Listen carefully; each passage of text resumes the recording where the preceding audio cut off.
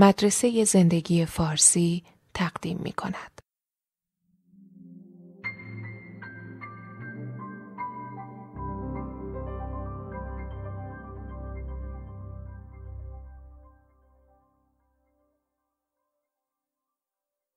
در فصل دوم کیسی که مطرح میشه نامش از جولیا و خانمی هستش که از معجزات پروزک شنیده و اومده پیش دکتر و اصرار می‌کنه که پروزک براش بنویسن. و دکتر بررسیش می‌کنه می‌بینه که ایشون افسرده نیست برخلاف تس خانم فصل یک. و بهش میگه که شما می‌تونی از روان درمانی استفاده کنی. برای اینکه وسواس داشته با همسر و بچه هاش مشکل داشته. امر نه زیاد می‌کرده و احساس می‌کرده که خونه همیشه باید تمیز و مرتب باشه. و ایشون رو معرفی می‌کنه به روانکاو. و روانشناس. روانشناس و روانکاو به ایشون میگه که شما شخصیت کمالگرا و تا حدودی وسواسی داری و افسرده هم نیستی و به نظر خودش توصیه بهش می‌کنه برای اینکه روابطش رو با شوهرش بهتر بکنه هنرهای ارتباطیش رو تقویت بکنه و روانشناس به نظرش ایشون حالش بهتر میشه. ولی این خانم همچنان راضی نبود. این کمالگرایی که در این خانم مشاهده می‌شد باعث شد که اون روانپزشکش به دو تا تشخیص فکر کنه. یکی OCD Obsessive Compulsive Disorder یکی Compulsive Personality Disorder یعنی اختلال شخصیت یا اختلال وسواس. اختلال شخصیت با اختلال وسواس یا OCD متفاوت. این دوتا تشخیص مطرح شد براش. اما OCD اختلالیه که به قول معروف کاملا تابلوه و با هیچی اشتباه نمیشه. یعنی این فرد دو قسمت داره رفتارش. یکی obsession و یکی compulsion. در obsession این افکار تکراری مزاحم و خارج فکری به سراغش میاد که میگه مثلا دستات تمیز نیست برو بشور. یا اینکه در خونه رو قفل نکردی. و کامپالژن قسمتی هستش که به این افکار مجبور جواب بده تا رهاش کنن. یعنی مجبور بره دستشو بشوره. یا مجبور بره دوباره از نیمه راه برگرده و در خونه رو چک بکنه. و امثال هم. و این خانم خب در این دست بندی به راحتی جا نمی گرفت یعنی OCD به عنوان یک اختلال بهش نمی چسبید بنابراین ما می رفتیم در اون دسته ای که به اختلالات شخصیت و فکر می کردیم نه OCD بیماری. و اون وقتی هستش که ما اصطلاحی بهش میدیم به نام compulsive personality disorder یعنی اختلال شخصیت وسواسی. و این خانم خب به این بیشتر می‌خورد.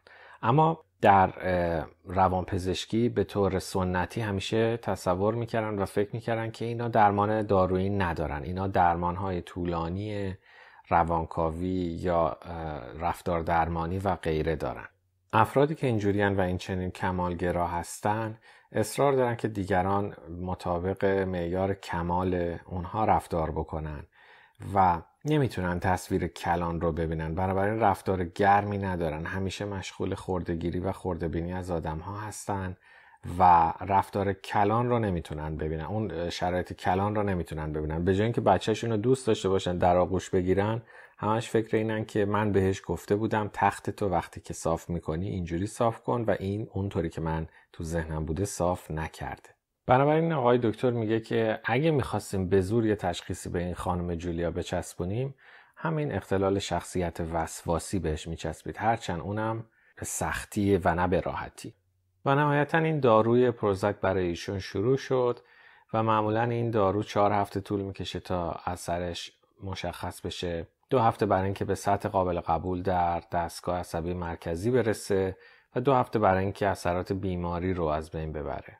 اما همون هفته اول جولیا گزارش داد که زمین تا آسمون تفاوت کردم و اولا انرژی خیلی زیادی دارم و دوما اینکه با بچه ها رفتارم بهتر شده. بچه ها میگن کمتر داد و فریاد می‌کنی. با شوهرش روابطش بهتر شد.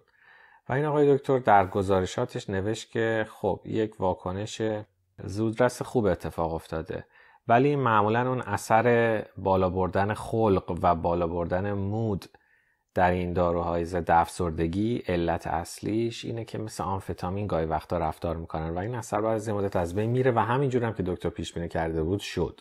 یعنی خانم وسواسش با بچه هاش و شوهرش کمتر شد ولی اون خلق خوشش که اون یه هفته بهش دست داده بود زائل شد و به یک حالت ملایم تری رسید. این خانم در عین حال رشته پرستاری هم خونده بود ولی به دلیل اینکه خیلی به نظم و نسق در زندگی وسواس داشت نمی‌تونست در شغل اصلیش که پرستاری کار کنه و به عنوان کار پایینتری به عنوان یک پرستار خانه سالمندان کار گرفته بود.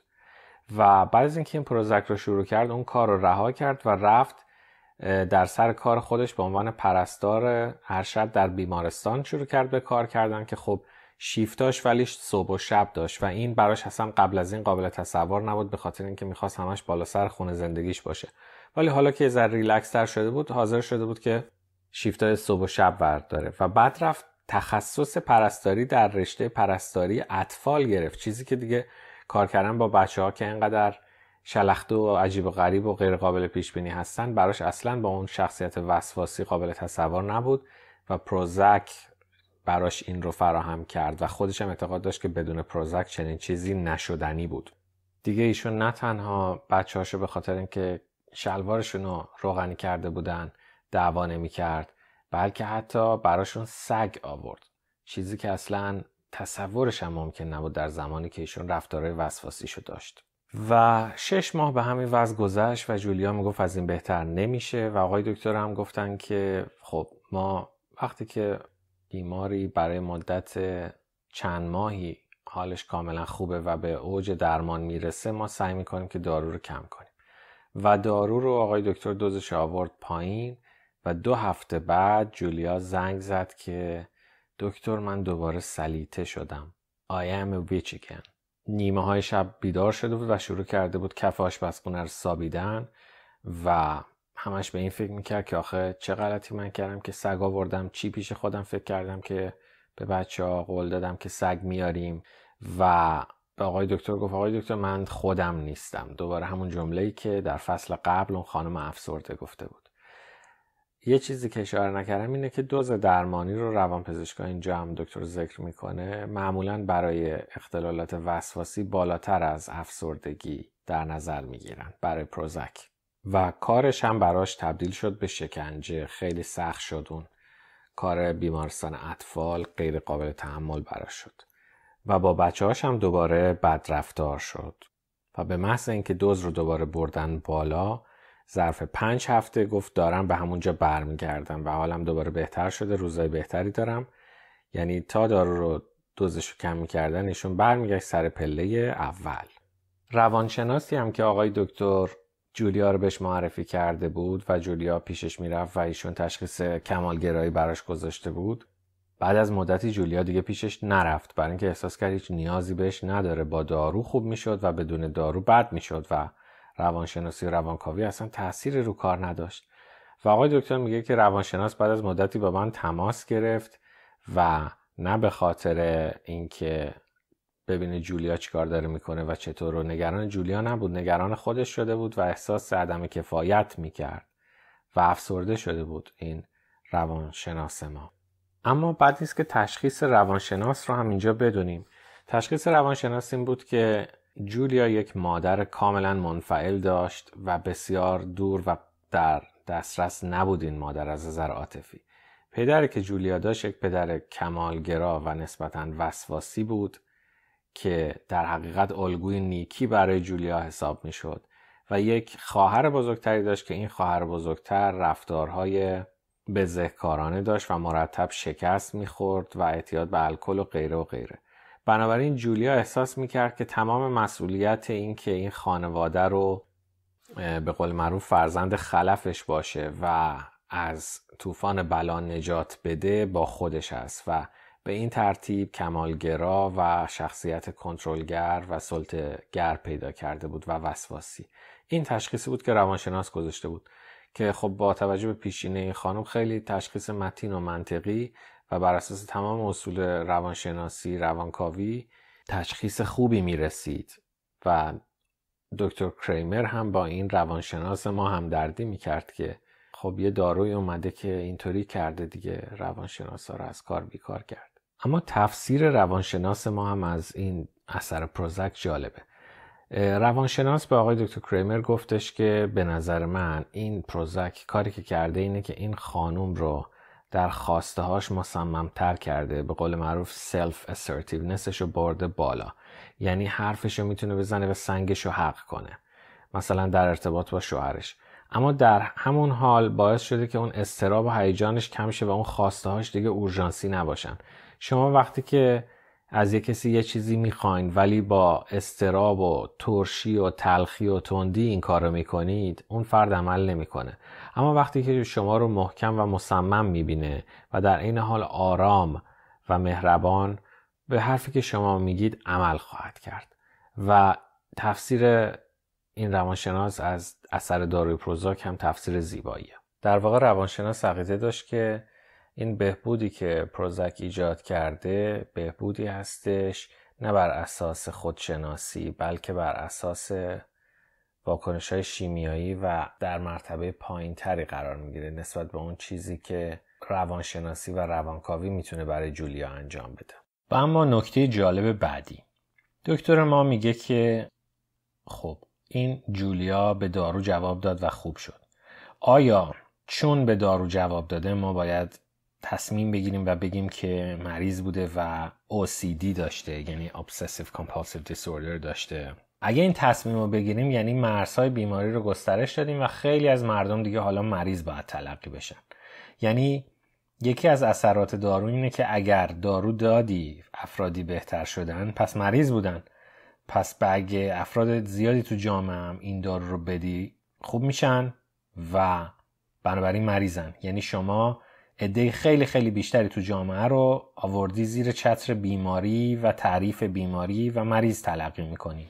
جالبه که دکتر کریمر میگه که سایکوفارماکولوژی یعنی دارو درمانی در روان پزشکی مثل هنر امپرسیونیزم میمونه. مثل بقیه پزشکی نیست که شما تست خون می‌گیری می‌بینی قند بالاست انسولین میدی. تست ادرار می‌گیری می‌بینی عفونت داره آنتیبیوتیک میدی. تست مایع مغزی نخاعی می‌گیره می‌بینی عفونت داره آنتیبیوتیک میدی. بنابراین شما در این شاخه از طب به قصه های بیمار گوش میدی و یک impression یک تأثیر یک حس کلی از بیماری اون فرد پیدا می‌کنی و تصمیم می‌گیری که این فرد مثلا وسواس داره کمالگراست افسرده است مانیکه و بهش دارو میدی. باز نکته دیگه که از همین روند در روان پزشکی میاد اینه که بر اساس داروهایی که وجود داره تصمیم گرفته میشه که چه علامتی در بیمار مهمه. اگه ما دارویی داشته باشیم که وسواس رو درمان می‌کنه بنابراین توی بیمارا با دقت بیشتری دنبال وسواس میگردیم بلکه بتونیم یه وسواس پیدا کنیم و براشون دارو شروع کنیم. پس نتیجه این طرز تفکر این میشه که ما هر صفتی رو که در فرد خوشمون نیومد یا خودش خوشش نیومد یا با عرف جامعه سازگار نبود اینو مدیکالیزه کنیم. بگیم که آقا این بیماریه و چون به دارو جواب میده بگیریم و بهش دارو بدیم. در صورتی که جامعه از نظر تکاملی به همه این افراد احتیاج داره. اگه ما آدمایی که جدی هستن در کارشون بگیریم و به عنوان اینکه وسواس هستن دارو بدیم پس بنابراین آدمای درونگرا رو هم باید دارو بدیم در مقابل برونگراها. و خلاصه از هر دو صفتی یکی رو انتخاب کنیم و به اون یکی دارو بدیم. مثلا اونایی که سختن و اونایی که انعطاف پذیرن. به سختا دارو بدیم اونایی که با احتیاطن و اونایی که تکانه عمل می‌کنن لابد بعد به اونایی که با احتیاطن دارو بدیم اونایی که از ریسک میترسن اونایی که میرن به سراغ خطر لابد به اونایی که میترسن بعد دارو بدیم اونایی که خدا تا حدودی مازوخیستیکن و اونایی که سنگ خودشون حق می‌کنن لابد مازوخیستا باید درمان بشن اونایی که مال و اونایی که شرتی شپرتی لابد به یکی از این دوتا باید دارو بدیم و این تا سریا این دیوار خواهد رفت. در واقع ما داریم دایورسیتی رو در جامعه نابود می‌کنیم. برای اینکه دو جور آدم هست. آدم هایی که فضیلت های آپولو خدای یونان رو دارن و اونهایی که فضیلت های داینایسوس رو دارن.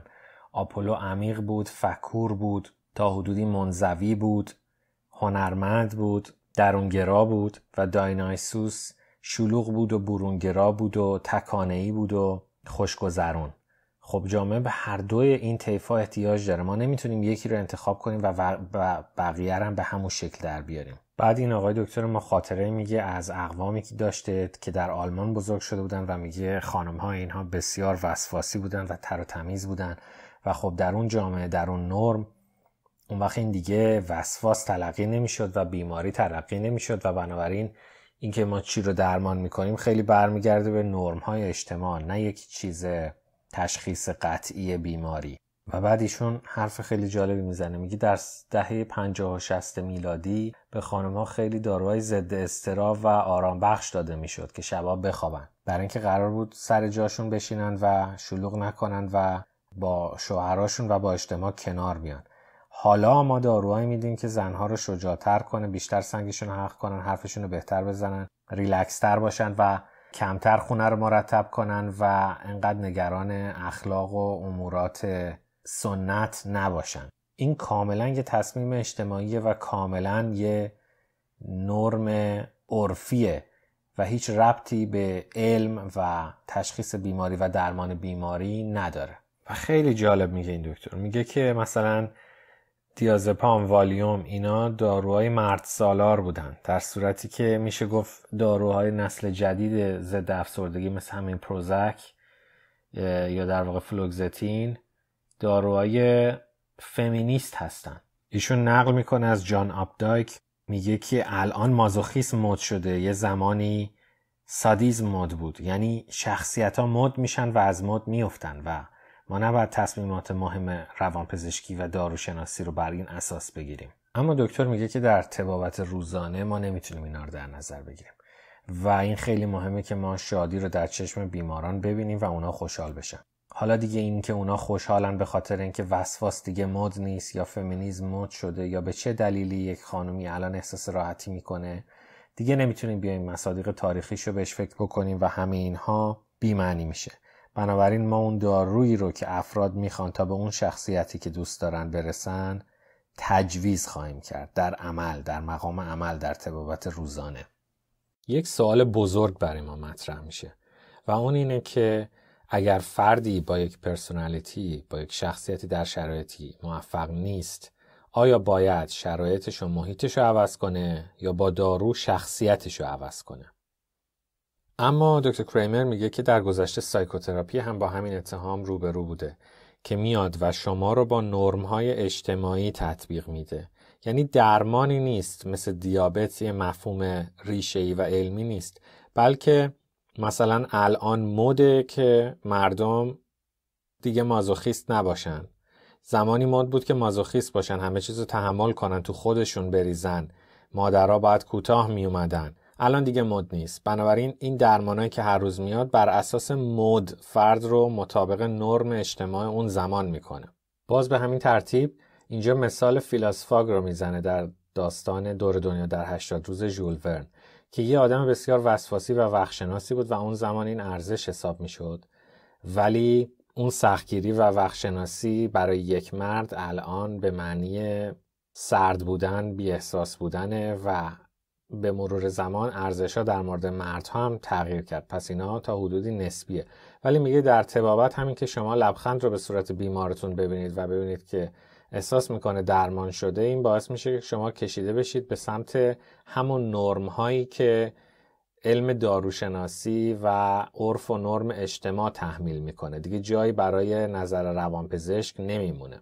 بعد میگه که در نیمه قرن بیستم روانشناسا و روانپزشکا به یه چیزی رسیده بودن به نام سپکتروم تیوری یعنی طیف بیماری های روانشناختی.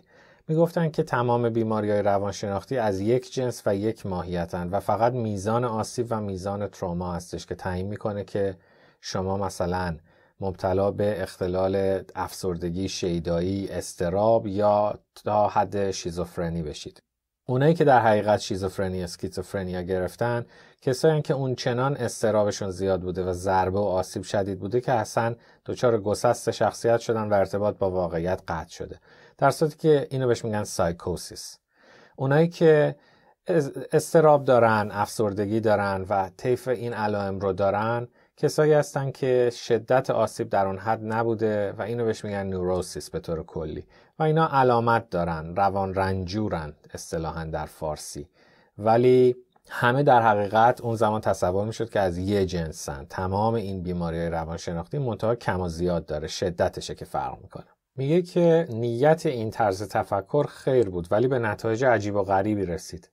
به خاطر اینکه یواش یواش روانشناسا دیگه تمام بیماری های خیلی شدید رو میذاشتن تو دسته اسکیزوفرنی.